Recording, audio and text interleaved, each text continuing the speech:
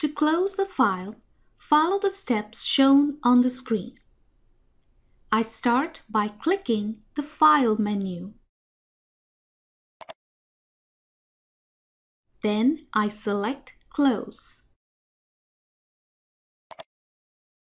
As you can see, the workbook is closed and not shown on the screen.